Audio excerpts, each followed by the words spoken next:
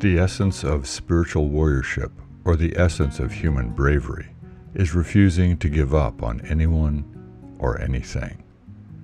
Chogyam Trungpa, Shambhala, the sacred path of the warrior. It's easy to convince ourselves that we never really wanted to pursue that goal or that someone is lost cause. But giving up on ourselves or others is always a choice. But is that the path we want to take?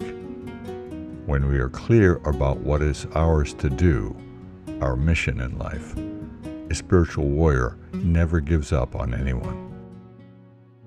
It takes courage which is a heartfelt commitment to seeing things through. One kind word can find courage and commitment even in the most desperate situations, making us determined never to give up.